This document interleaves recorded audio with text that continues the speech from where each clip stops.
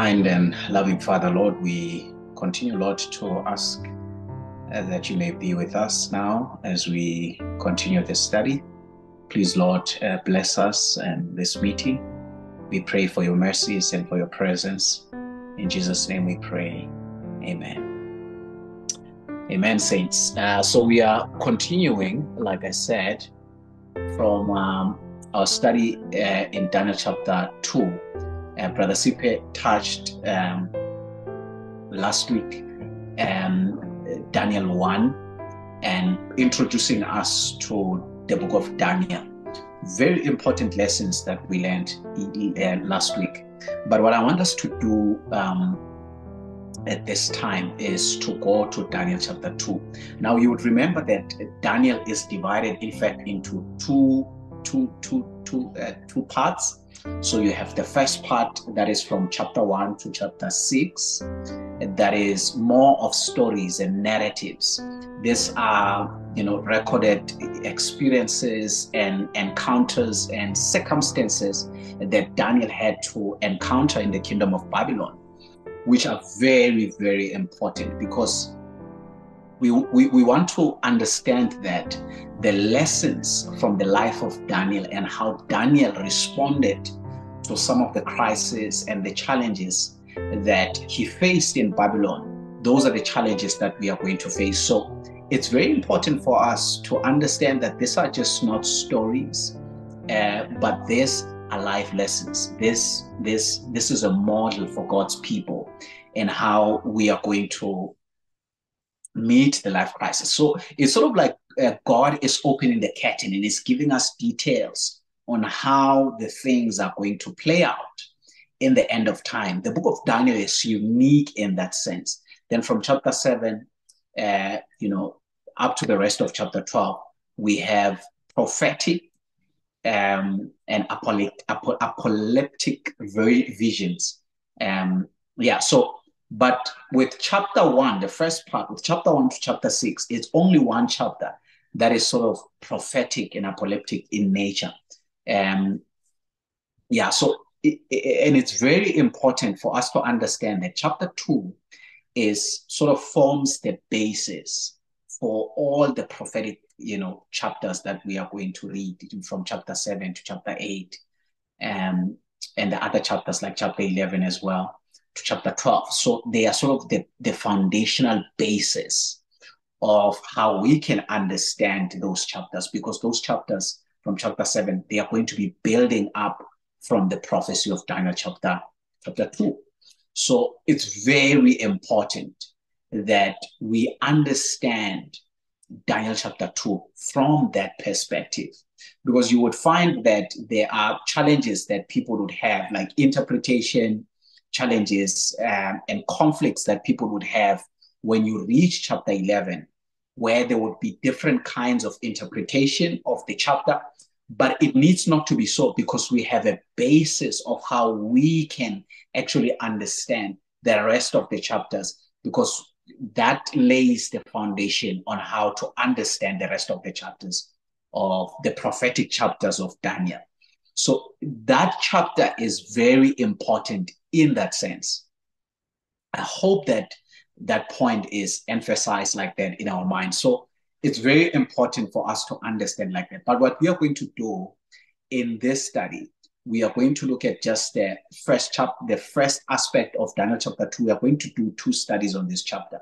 We are looking at the first aspect and the second aspect of Daniel chapter two the first aspect is really just the lessons that we can glean, not only from Daniel, but some aspects of uh, you know what God actually, the methods of how God reveals truth, and some of the lessons we can learn from how Daniel deals with this crisis that comes upon them. Um, that is very important. Then on our next study, uh, next uh, next Wednesday, we'll, we'll look at the prophetic aspect, that is the dream and the interpretation, but more focus, we are going to be focusing more in the last aspect of the, you know, the, the last aspect of the dream, that is the last events of, of, of that prophetic dream that was revealed to King Nebuchadnezzar. and and put more emphasis there and and see what what we can learn from there. So that is that is how we are going to do it. I think these lessons we are going to learn are very important. They're important in that sense. Now, I'm going to break down Daniel uh, from chapter one, the verses, therefore, and I and I and I really just want us to get the anatomy of chapter two from the verses. So from, from verse one to verse 13, we have the king and his dream and his interactions with the wise men of Babylon. And um, then from chapter 14 to chapter 30, we have Daniel now coming into the picture. And Daniel now comes into the picture because there's a decree that has been issued that all the wise men of Babylon should be killed. And Daniel, they go seeking him and his friends to go and kill him. And he comes into the picture like that. And he goes, he asks time, they give him time, he goes with his friends, he goes and prays. God reveals the dream to him. He stands before the king and he tells him that that which the wise men and the astrologers and the sorcerers and the Chaldeans failed to do, the God of heaven has actually revealed it. And God is exalted because he reveals uh, the dream from verse 31 to verse 49. He reveals the dream. That is the aspect of what composes the dream and the interpretation of the dream, which is what we are going to look at in our next study next week. Yeah, so that's how the, the chapter is divided, the division of the chapter. Now, let's go and study. We are just going to begin in Daniel chapter 2. Now, the first thing that I want us to notice or to, to note with Daniel chapter 2, the first lesson there is that God is the one who's able to read the thoughts and the intentions of our hearts. So God is not just uh, the one who sees just from the outside, but God is able to penetrate even to our hearts, see exactly what we are thinking, the very intentions of our hearts and the motives, and see what what actually plays. We are going to see this very clear from the book of Daniel, chapter 2. Let's just go there from verse 29. As for thee, O king, thy thoughts came into thy mind upon thy birth what should come to pass hereafter. And he that revealeth secrets, I want you to note that. He that revealeth secret, make known to thee what shall come to pass. So what was happening here is that Nebuchadnezzar was sitting in his bed. He was just sitting. He was not speaking with anyone. He was just alone. He was contemplating in deep thought, trying to think of what is going to happen to his kingdom and to him in the future. So he was sort of like anxious of what is going to happen. And there were thoughts that were flooding his mind. And he's, he was really trying to understand this. And we see that what really he what, what he wanted to understand what uh, was the future of his kingdom. That is what he was anxious about. And the interesting thing in verse 1 of chapter 2, the Bible tells us that God gives him the answer to the very the questions that troubled his heart. And the Bible reveals this very clear from verse 1 to verse 2. Uh, the Bible says, in the second year of the reign of Nebuchadnezzar, Nebuchadnezzar dreamed dreams. Uh, wherefore his spirit was troubled and his sleep broke from him. Verse 2 Then the king commanded to call the magicians and the astrologers and the sorcerers and the Chaldeans for to show the king his dreams. So they came and stood before the king. So this is exactly what God is doing. God is revealing to Nebuchadnezzar exactly what was troubling him. But what is interesting is that when he wakes up from the dream, God takes away the dream from him. He does not remember any detail of that dream. But something that has left in his mind is an impression and how impressive this is, this was, and how important he felt that he needed to know and understand what he had just dreamed about. And so this thought has been, this imprint, the impress is just left in his mind. And he feels that it's very important for him to know what he had just dreamed and he goes to call, the first thing that he does, he calls the magicians, the astrologers, the sorcerers. And the Bible says he calls the magicians and he assembles them to his palace and he asks them, he says, Tell me what I have dreamed. Tell me the interpretation of what I've dreamed. And the Bible in verse 3 tells us their response. And the king said to them, I have dreamed a dream, and my spirit was troubled to know the dream. So, this was something that was really important for him to understand. He was troubled by this. He needed to understand what exactly he had dreamed. Now, look at their response the response of the wise man. Let's look at what their answer is. Look at verse. We are not going to read all the verses, but we are going to be jumping and just picking up those ones that are of interest uh, that we want to bring forth. From verse 10 The Chaldeans answered before the king and said, There is not a man upon the earth that can show the king's matter. Therefore, there is no king, Lord, no ruler that asketh such things at any magicians or astrologers or Chaldeans. So they are saying that what you are asking is unreasonable. There's no one who can ask such things. We don't have answers to the, the questions that you're asking. Look at verse 11. It says, It is a rare thing that the king required, and there is none other that can show it before the king except the gods whose dwelling is not with flesh. Whose dwelling is not with flesh. So, what the magicians and the astrologers and the sorcerers and the Chaldeans, what they are doing is that they are acknowledging the fact that they they they cannot tell they cannot solve his problem. They cannot tell him his dreams. They cannot tell him the interpretation and they are constantly asking him tell us the dream. We will tell you the interpretation of it. Tell us the dream. We will tell you the interpretation of it now, saints, we need to understand what God really here was doing. God is exposing the religion of Babylon. He's exposing the wise men of Babylon. Now, the magicians, how they would do is that they would use their superstitions, you know, and, you know, their schemes to try to tell the future. And they had a way of, you know, to say, you know, of revealing or, you know, secrets to their kings the, the astrologers, they use the stars, the constellations, to try to foretell of what is going to come in the future and what is going to happen. So they used all of that astrology to try to tell of the future and what is going to happen. Then you have the sorcerers who would communicate with the dead, who would communicate with that spirit, and they would seem to come with sort of like secrets and, and communicate with the living to say, this is exactly what the dead says.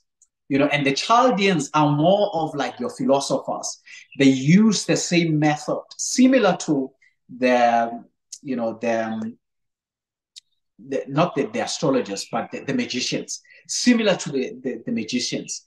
They use the same method. And what God is really doing here, God is exposing them. He's exposing them God is trying to tell the king that the religion of Babylon is actually not a religion.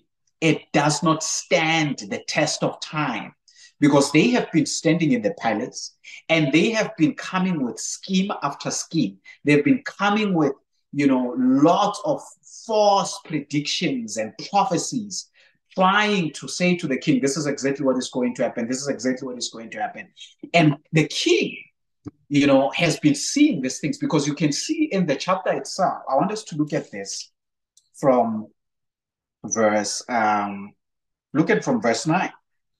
Uh, from starting from verse 8, it says, The king answered and said, I know of certainty that you would gain the time because you see the thing is gone from me. But if you will not make known unto me the dream, there is but one decree for you for you have prepared lies and corrupt words to speak before me till the time be changed. Therefore, tell me the dream, and I shall know that you can show me the interpretation thereof. So the king knew clearly that what they have been doing, they have been lying, they have been composing lies and schemes to try to, you know, to deceive in in some way. But this was a test for them. This was a test for them. If they cannot tell the dream, if they cannot tell the interpretation thereof, and they that means they cannot stand the test. That means all that they have been claiming to be is actually false. They are false magicians. They are false prophets in some way. So what they have been claiming to be has been put to the test. And God did this deliberately to take away the dream from the king because God wanted to expose them. God wanted to expose them. This is very interesting because God does not want us to trust in the wise man of the world because the wise man of that world of Babylon, you, you would remember that Babylon was the greatest empire of the time. So the wise man and the sophistication and the science and the knowledge, you just have to read the history to understand, you know, the inventions and the uh, and the kind of uh, the science and all of the things that were coming from great things came from Babylon. You know, when you're speaking of science and inventions and all of those things, you really, when you read the history, you see that this was a sophisticated civilization that has ever been from that time before the other empires had come. This was a serious um, civilization at the time. So, so God was really with the wise men of that world. God with the wise men of that world is depicted here, the wise men of the world today. Are we together, saints? God is trying to tell us that we cannot trust them. We cannot trust the wise men. We cannot trust those who are learned. God does not reveal the truth through them, even though God is going to bring the truth to them. But God does not use them as agents to bring the truth to the king and to the rest of the world. We have to understand that. In fact, I want us to see this from the book of Corinthians. Let's go to the book of Corinthians. This, this, these lessons are very important. First Corinthians, we are going to read uh, from chapter 1 to verse 27 to 29. Look at, look at what the Bible has to say. But, but God have chosen the foolish things of the world to confound the wise, and God have chosen the weak things of the world to confound the things which are mighty and base things of the world and things which are despised have God chosen, yea, the things which are not to bring to naught things that are. Look at the reason in verse 29 that no flesh should glory in his presence that no flesh should glory in his presence. Now, I want you to look at the, the, the, what God chooses. The Bible says the foolish things of the world, the weak things of the world, things that are based, things that are not, to bring to naught things that are. And he gives us the reason why God chooses to work in that way. It is because so that man may not glory in his presence. Saints, you see, the wise men of Babylon, the wise of men, men, men of Babylon, if if if, if if if if if if the dream had been told to them, you know, they were going to try to arrange their interpretation that suits their own, you know, um, that suits them to try to appease the king and they were going to take all the glory to themselves. They were going to say, It is because of this wisdom, it is because of this mind, it is because of this that we were able to do this. So the glory was going to be focused to them rather than to God. But God does not work with people like that. God says, I'm going to expose them because I really want to work with people who are humble people who are converted, and people when God has actually done the work, they will be able to point at the work and point at God, that God has been the one who has been able to do this. They are not going to take the glory, they are going to deflect the glory to God. they are going to deflect the glory to God. That's very important, saints, because we are living in a time where there is so much attention to self. There is so much attention to, you know, to ourself. And man has deflected, has taken all the glory, you know, of the knowledge that is there, of the wisdom that is there, of the inventions and the things that are coming. Man is taking all the glory to himself. God is no longer in the picture. God is no longer in the picture. And what God is trying to tell us here is that God is not going to work that way. He did not work in that way in the time, you know, in the time in Babylon. He didn't work through the, the, the, the wise men of Babylon of the time. And he is not going to work through the wise men even today. There are people now who are rising in our ranks who have PhDs and masters in theology. They are beginning to take the scriptures and you know and twist them, and they are beginning to doubt the very scriptures. And they are saying, no, because I have a PhD, I have an understanding in the Greek, you know, and and Hebrew. Therefore, this is not what was meant to be. In fact, there are portions of the Bible as we as, as we as we hear now there are portions of the bible that are declared not to be true and they are not supposed to be there. Now, who, who says, sits in that seat and who decides what is inspired and what is not inspired? That man thinks that he is so wise, he is so elevated that he can stand in the very place where he can decide that this is divine and this is not divine. This is exactly one of the reasons why God is not choosing to work through this way. We cannot trust the wise men. We cannot trust those who have exalted themselves, who take the scriptures and who twist them for their own destruction. That's what the Bible says. And God was exposing them. God was exposing them. And we are going to see how God is, how God works how God works.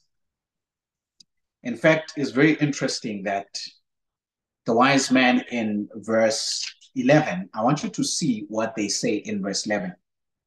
And it is a rare thing that the king requireth, and there is none other that can show it before the king, except the gods whose dwelling is not with man or with flesh. Now consider what they are saying. They are saying we are not able to tell you the dream. In fact, our gods, or even the gods that we inquire from, they are not able to reveal the secrets. And he says something interesting, the last part, which I'm very interested in. He says, The gods, their dwelling is not with flesh. So they are making a distinction, and we are going to see a distinction here between the God of the Bible and the pagan gods, the gods here that they are speaking about. But here, what they are revealing is that their God dwells in secret, it does not dwell with man, and they are um, they cannot be able to communicate with them and see and hear what these secrets are. Hear what the secrets are. Definitely, this is a different. This are this is different from the God of the Bible. We are going to see that um, just now. Go to Amos chapter 3. Amos, we are reading in chapter 3, verse 7. The Bible says, Surely the Lord God will do nothing, but he revealeth his secrets. He revealeth his secret unto his servants, the prophet. So do you see that God is not the one who keeps secrets, but God wants to reveal his secrets. But who does he reveal his secrets to? The Bible tells us to his servants, the prophets. So God inspires or he gives dreams and visions to a prophet of what is going to come, you know, of the future and of the secrets that he unfolds to his people. And God reveals his truth like that. But we, we see something, a distinction here between the gods that the, the you know the astrologers, the magicians, and the the Chaldeans, the, the sorcerers, you know, speak of that this is a different God altogether. This is not the God of the Bible. In fact, when you read in Revelation, uh, the first verse, the first verse, Revelation chapter 1, it says, the revelation of Jesus Christ. It is not hidden. It says, the revelation of Jesus Christ, which God gave unto him to show unto his servants things which must shortly come to pass. And he sent and signified it by his angel unto his servant John. It's a revelation. It is revealed. It is opened up. It has been unfolded. it's not secret. It's not hidden. That is a different God that we see. God is always seeking to reveal, you know, to, to open the understanding for his people to understand the light thereof. But we see that the gods, the pagan gods, are different in that they are always hiding information. They are always hiding, you know, the secret things. And uh, but God is always willing to reveal the truth to his people. If we seek the truth, you know, with good intentions and we really want to understand, with humility of spirit, God is going to reveal it to us. God is going to reveal it to us. So that's the distinction that we see with the God of the Bible and the pagan gods. But but they, they say something, you know, that is so interesting with regards to the theology now that has formed up and is is you know this theology has been has corrupted uh, the church. And it is that god is so far off he does not dwell with flesh. So in other words they have the picture of this god who is so not in touch with his creation. He's so far removed. In other words he's so far removed from his people he dwells there and they dwell here, and he does not have that interaction with his people, with his creation. He is not, he is not, you know, on a continual basis interested in their affairs to interfere, you know, in, in the affairs of man and the circumstances of their lives. That is the kind of gods that they are presenting. That is the pagan God. And I want us to just talk about that for a moment because it's very interesting that we understand. In fact, there is this understanding with, um, you know, what is this understanding of, of God? That God created the world, and after He created the world, He, you know, He left creation, and creation is just on itself. You know, and it's just moving. Everything is just moving by its own, but God is not involved. God is not interested in the affairs of man. He is not involved in any way. But that is that is the kind of God that they are presenting. He is not the one who dwells with flesh. His dwelling is not with flesh. Now, when you read in John chapter 1, a very powerful book that proves the divinity of Jesus Christ. When you read in John chapter 1, we read that in the beginning was the Word, and the Word was with God, and the Word was God. Are we together? So he was in the beginning with God. So, as far as you can go from the beginning, you are going to find Jesus. You are going to find God there. He was not only with God, but the Bible says that he is himself God. In verse 14, the Bible says, the word was what? Was made flesh and dwelled with us, and we beheld his glory, the glory of the only begotten of the Father, full of truth, full of truth. Um, yeah, so we see that God in the book of John, he's the one who came and established his tabernacle with man. He came, he's interested to the point that the Bible take he took the flesh and he became just not the God who's just removed far from his creation, far from his people, but he became even one of us, like us, dwelled among earth for a number of years, you know, interacted with man. He got hungry as well. You know, he walked distances. You know, he would get tired as we are. You know, equally God and also equally human. It's a mystery, saints. It is a mystery. And this is the kind of God that is presented in the Bible. When you read in Genesis, just after the fall of man, in Genesis chapter 3, we see a God who is coming into the garden. In fact, even before they fell, inspiration speaks of the fact that God would come and commune with them and reveal to them and unfold to them you know, the mysteries of the divine things, the deep things of God. Adam would commune face to face with God.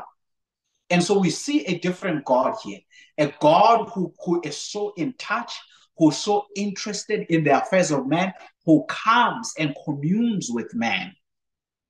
You know, and God comes even after the fall. He asks man, Adam, what have you done? Where are you?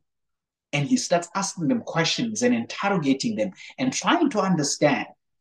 So we see that God is not removed, saints. In, in Exodus, we read in chapter 25, verse 8, when the instruction is given to Moses, let them build me a sanctuary that I may dwell among them.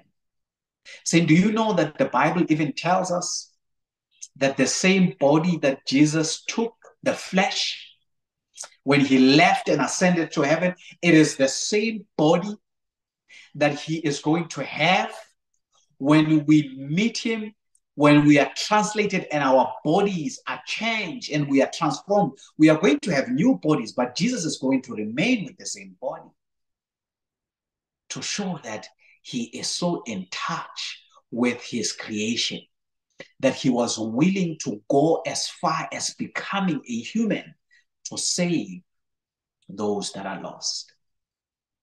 So it's very important, saints, for us to understand that God is so close to us. He is so close to us that we can call for him. He is so near to us that like he is so near to us, saints, we don't understand. That when we can call upon him, he is here. He is so close. He is so intimate. He is, and he seeks that, you know, relationship, that communion with us, that we can be as close to him, we can be so intimate with him, that we will become like him in character. We'll be merciful, we'll be kind, we'll be gracious, we'll be long suffering. You know, all the character of God as is revealed in his word. So that's what we find in, in the book of Daniel. And I, and I want us to just continue and see the other lessons. Um, Daniel chapter 2. Let's go back to Daniel. Daniel chapter 2. Now, I want us to see something very interesting here.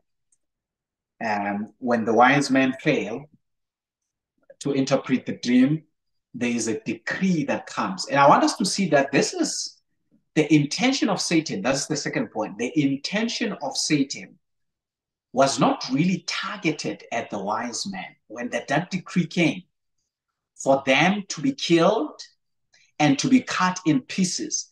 That was not targeted at the wise men of Babylon. The target was God's people. Because Satan understood something he understood something. In fact, let's just read that from verse 12. For this cause, the king was angry and very furious and commanded to destroy all the wise men of Babylon. And the decree went forth that the wise men should be slain. And they sought Daniel and his fellows to be slain. They thought Daniel and his fellows to be slain. Do you see that they are coming after Daniel? They are coming after Abednego and Shadrach and Meshach. They are coming after them. The target really here is not the wise men of Babylon. It's not the astrologers. It's not the you know the magicians and the sorcerers and the Chaldeans. That's not the target for Satan. They are already in error. They are already in darkness. The target of Satan is God's people. It is Daniel and his three friends. Because Satan knew that from chapter one, he saw them standing the test of diet. He saw, he saw their faithfulness, that they were not going to defile themselves with the king's meat, with his wine, and everything that was offered in the palace. They were not going to do it. They were going to stand. Their integrity was going to be intact. Satan saw it. And Satan saw that even when the king assembled them after three years, he saw that they were 10 times better and wise than all the, the, the wise men of Babylon. They were exalted. So, so Satan could see that God was working through these young people. God was bringing the light to the hidden nation through Daniel and his fellow friends. Because, you know, if you really read the, the book of Daniel, especially from the very six chapters, the first six chapters, you see that this is God's attempt to reach the hidden king. God's love and his attempt and everything that God was going to do to reach him, to know, so that the king may know him and accept him, as we see that the king later on is, is converted. This is God's attempts to actually reach at him. And Daniel's and, and, and Satan could see, you know, in glimpses that God here was trying to do something. And what was his plan? It's like, let me take them off of the picture, of the scene. Let me kill them with the rest of the wise men of Babylon. Well, his plan did not work because when we read in verse 14, the Bible tells us that then Daniel answered with counsel and wisdom to Arioch, the captain of the king's guard, which was gone forth to slay the wise man of Babylon. He answered with wisdom, with counsel and wisdom. Now, in chapter 1, verse 17, I want us to just read that. It says, For these four children, that is Daniel, Shadrach, Meshach, and Abednego, the names that they are given. Um, it says, As for these four children, God gave them knowledge, first, skill in all learning, and wisdom. And Daniel had understanding in all visions and dreams. So they were given knowledge, they were given wisdom, they were given skill in all the learnings of uh, the Babylonians, whether the sciences and all of those things that they studied there. But the Bible also mentions that God gave them wisdom.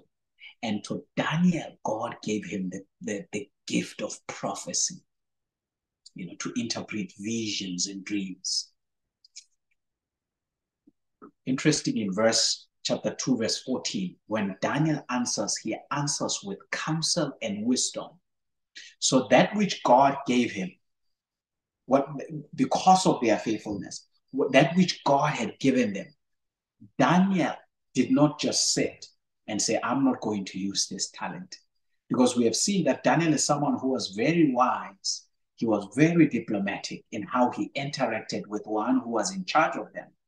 And the, and the way he answers here, he answers with counsel and wisdom. So he didn't just answer, but he was answering in a manner that you know was was sort of appealing and winning the favor of the one who was in charge, who the, the decree was given for them to be killed. And so you see that God really here was at work. God was working through Daniel and his friends and he asked for a meeting with the king, a short meeting, and he's given that opportunity. And he asked for a time. And this, the, the another point, uh, the third point I really want us to consider here is God's method of revealing the truth. You know, how does God reveal the truth? When uh, we, when we're in a crisis, like Daniel and his friends were in a crisis, they were threatened with death. You know, their life here was in danger. Satan wanted to kill them and take their lives. But God, God didn't allow it to happen. God didn't allow it to happen because there was still a work to be done. There was still a work to be done. Look at verse chapter 2. We are going to look at verse. Um, yeah, let's look at verse. Yeah, let's look at verse 15 and verse 16. He answered and said unto Arioch, the king, the, the, the king's captain, why is the decree so haste from the king? Then Arioch made the thing known to Daniel. Verse 16. Then Daniel went in and desired of the king that he would give them time and that he would show the interpretation. Verse 17. Then Daniel went to his house and made the thing known to Hananiah, Mishael, and Azariah and his companion. What did Daniel, Daniel do? He didn't go to consult a magician. He didn't go to consult a sorcerer. He didn't use all the methods that the Babylonians would use when they are in a crisis, when they are faced with a situation. They did, he didn't use all of those methods. What did he do? He used the method that we should use when we are in crisis, when we are looking for answers, when our lives are threatened, this is how God would want us to respond. In how? God says here, they went to the house. That's what the Bible says. He went to the house. He told his friends, and they sought to seek the mercies of God through prayer and supplication. That night, they didn't sleep. They prayed. They prayed to God. And when they were praying, they believed that God heard their prayers. And indeed, he heard their prayers because God revealed to Daniel the dream and the interpretation of it. So that's a lesson, saints, that we have to learn. You see, we are going to see even in verse chapter 9, chapter 9, chapter 10, something that comes up about the life of Daniel is that he was someone who was, he had a life of prayer. He was a prayerful man. In chapter 11, we see that. Prayer was a part of his life. You know, he prayed so much. And, and this is important for those who are, you know, for us who are, who are living in the end of time, just the events before Jesus is going to come, the closing events of this earth history the life of prayer. We are going to speak about it, I think, in the in, in, in our studies in the second in the in the chapters that we are going to study. We are going to talk about the life of prayer, the life, the Daniel's life of prayer. And this is what we see here. Daniel does not trust in himself. Daniel does not have any confidence in himself or any you know confidence in his strength and his wisdom. Daniel is so humble that he goes, the first thing that he does, he says, Let us pray. Let us ask God and his mercies. What is it that we should do? Let us ask him and consult him. Because Daniel knew that God hears prayers. When he prays to God, God listens to the prayers and God answers the prayers. He does not only hear the prayer, but he answers our prayer. So prayer is a very critical part for those who are going to be living in the end of time. Prayer is very important in the life of a Christian, especially in the times that we are living in, saints. But we need to pray. We need to have people that we can pray with. People, like minded people, people who fear God, who we can assemble together spend all the night in prayer. You know when when you when you want you know something and you want to understand something whether you want to understand the prophecies of the bible or you want to understand something critical of your life you know you want to make a certain decision in your life whether you're seeking a life partner you know or whether you you know you're trying to you know you're trying to understand or choose a career for yourself and you are trying to make major decisions in your life, the Bible tells us that we should be people who pray, who consult God. We ask His wisdom, His mercies, and we come together with close, like minded people who fear God. We counsel together with them and we pray together with them. In the book of Proverbs, Solomon says, In the multitudes of counselors, there is safety. In the multitudes of counselors, there is safety. So that's that's the approach. That's the kind of life that God would want us to live. I really think that is very important. Now, I want us to see something here, um, just after their prayer, that they would, you know, desire the message of God, verse 18, of God of heaven, concerning the secret that Daniel and his fellows should not perish with the rest of the wise men of Babylon. Then was the secret revealed unto Daniel, verse 19, in a night vision. Then Daniel blessed the God of heaven. Daniel answered and said, Blessed be the name of God forever and ever, for wisdom and might are his.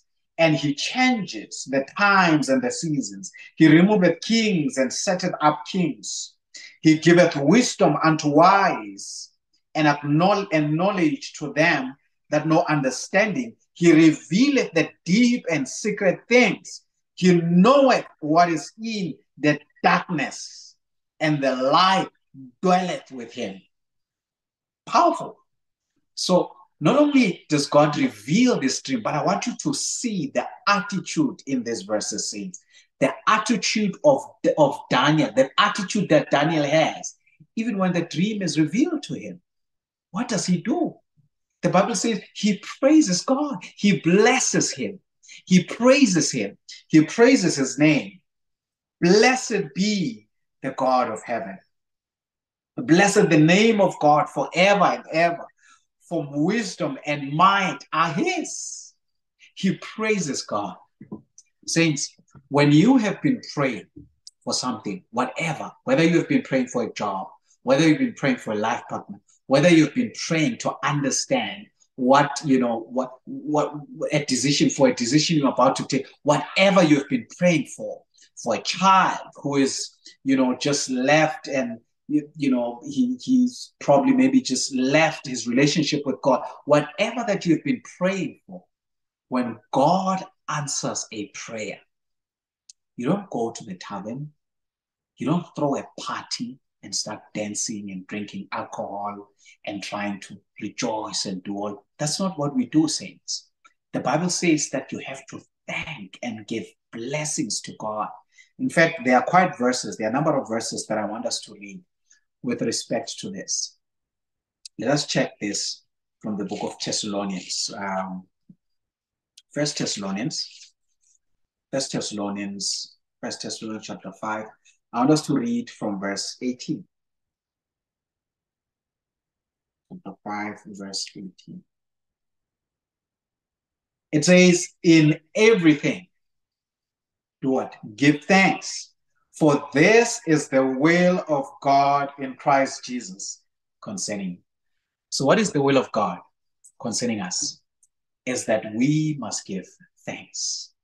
We must be people who cultivate that spirit of thanksgiving, of thankfulness, of gratitude towards God.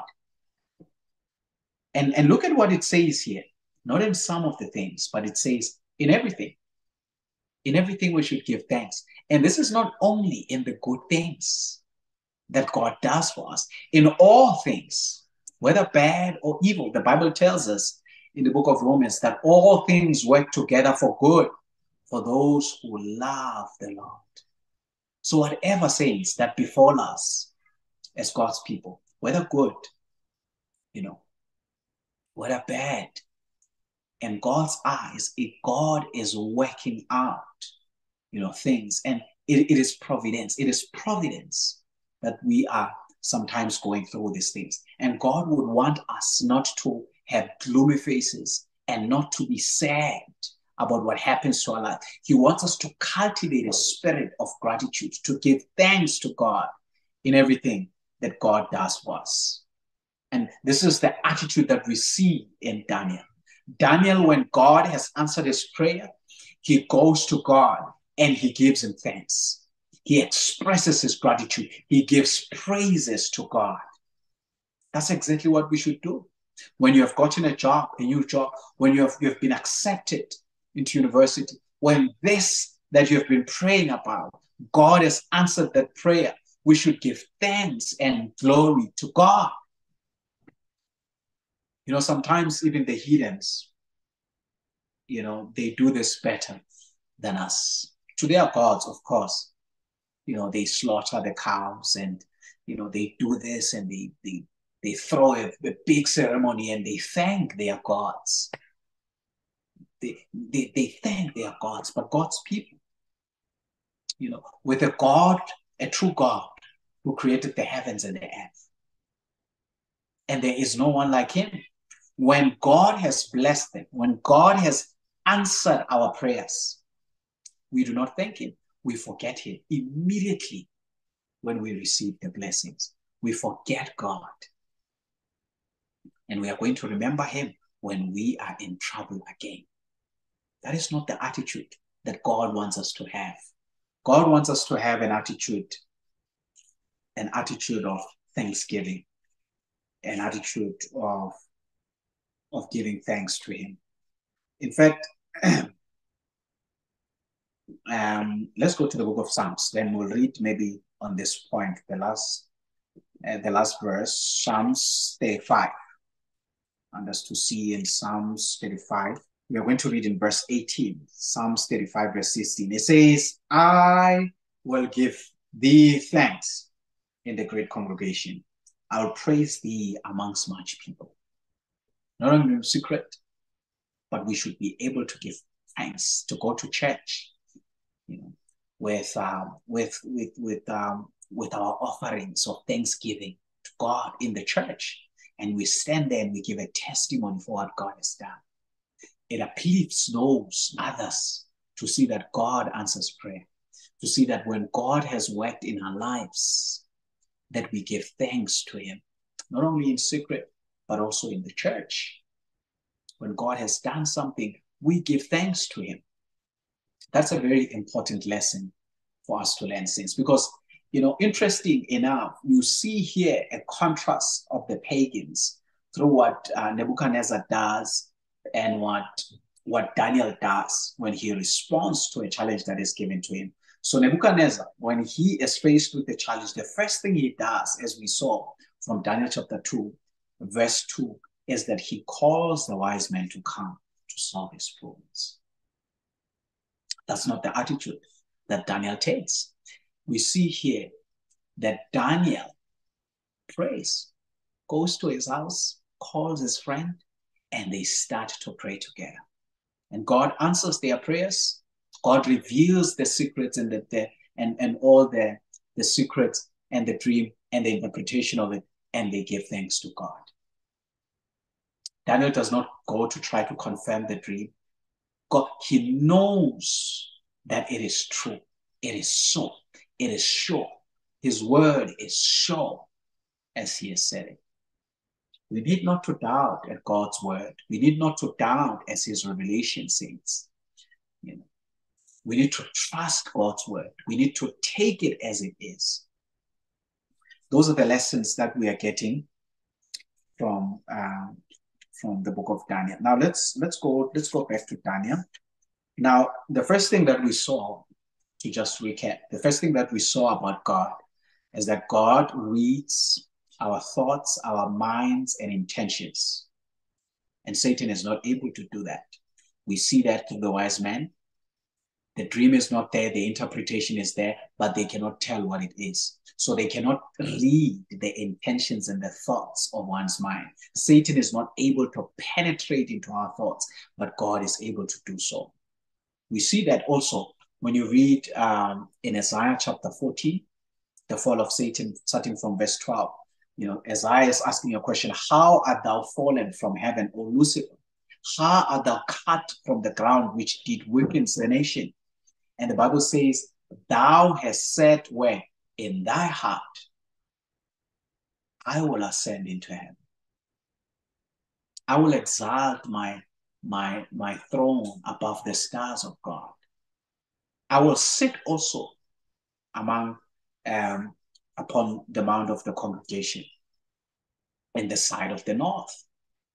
I will, I will exalt my throne above the, the, the clouds of heaven, and I will be like the Most High. These are the things that the angels were not seeing. These are the angels that these are the things that the angels were not seeing, but God was able to see and penetrate to the heart of Satan and see exactly his thoughts and his motives and his intentions. So that's the first thing that we saw. That when the king was sitting in his bed, God saw his thoughts. God saw his heart. God saw his very, you know, the thoughts that were troubling him, his his anxiety, and you know his his trouble about what is going to happen in the future. And God revealed to him through a dream what exactly is going to happen to his kingdom. God takes away the dream and the interpretation, exposes the wise men of Babylon. Secondly, we have learned that we are not to trust the wise men of this world. God has exposed them, God is not working through them. We are not to trust them, we are to trust the word of God. We are to trust the word of God. We have seen how God works from First Corinthians chapter 1, verse 27 to 20, 29, that God works through the foolish things of the world, weak things of the world, base things, things that are not, to bring to naught things that are. We, we, we, we remember the reason that that no flesh may glory in his presence, so that no one can be able to take the glory to himself, but he may be able to bring the glory to God direct all the glory to God. The forerunner, John the Baptist, that's what he would do. He says, I will decrease so that he may increase. That's the kind of attitude that we should have, servants of God. We are not to trust the wise men. We are not to trust the knowledge of this world, the wisdom of this world. Many are men in our ranks who are coming with the wisdom of the world, who are coming with the with the with the knowledge of the world, and they are trying to use that knowledge and wisdom of the world to try to twist the scriptures and to try to place down on the very divine revelation of God. And God's people are deceived.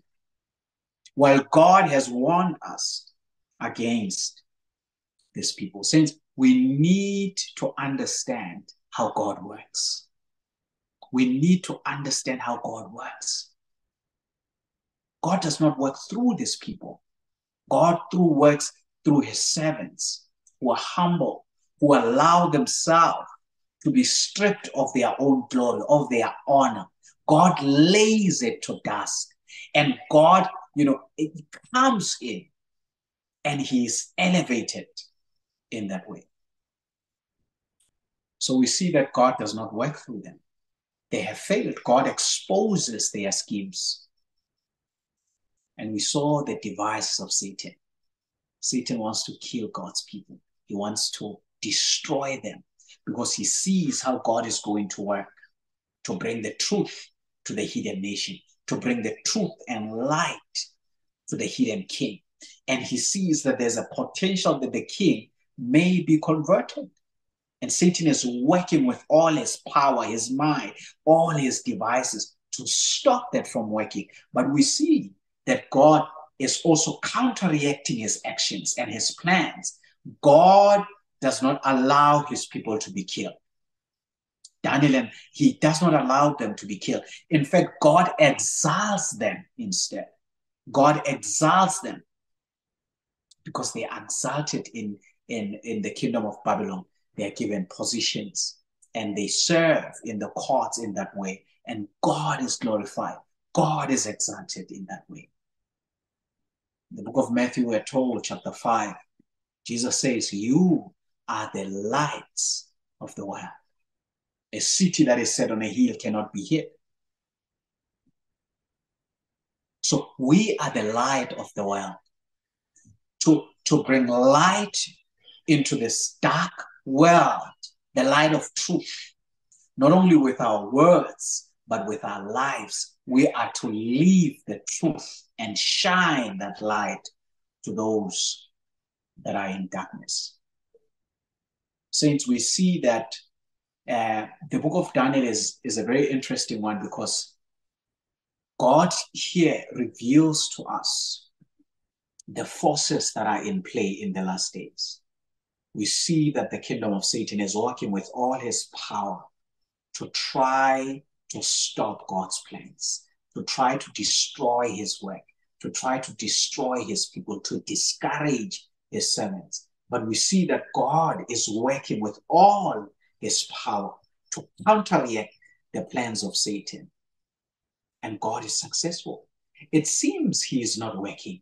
It seems Satan is, is winning altogether. But that's not how it is, saints. That's not how it is.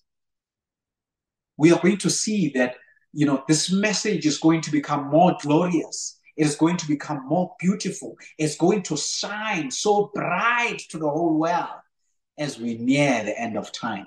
When we are faithful to God, God will use us in that way.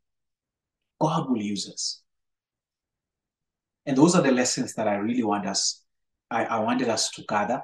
We saw that God's method is that when we are met with a crisis, when I'm met with challenges, we we resort to prayer. We pray to God. We we we bow to Him. We call our fellows um, like-minded, um, God's loving people, and we pray together with them. And God reveals to us that He answers prayers. He's the one who's very close to us. He is so close. He is so close that He answers our prayers. We have seen that, saints. Those are the lessons that I want us to pick up and to just take from this. Uh, we are going to continue with our study uh, next week. I pray that God may really help us. God may bless us. God may give us a hunger for the truth and to be clothed with his righteousness. And we are going to pray uh, for the points that we have covered. And we pray that God may, may seal these truths in our minds and establish us in the truth, both intellectually and spiritually. Um, let us pray, saints. Our loving Father, we want to come before you, Lord, once again. We want to thank you so much. We thank you, Lord, for allowing us this opportunity to come and bow before you. The lessons we have learned, they are so precious. They are so important for us, Lord Father, as we prepare for the last crisis. We pray that you may develop our character. Help us, Lord Father, to to be like Daniel, to be wise like Daniel, to ask for wisdom. Help us, Lord Father, to move as Daniel moved. Be allowed to allow you, Lord Father, to work in us, to do, to work and to do according to your own pleasure. Pray that you may bless each and every one of us and help your church and help us, Lord, open our minds as we are going to study these prophecies that we may understand what has been revealed and what is coming. Please bless us. It is our prayer in Jesus' name. Amen. And as for me, I will behold thy face in righteousness. I shall be set satisfied when I awake with thy likeness. I want to be.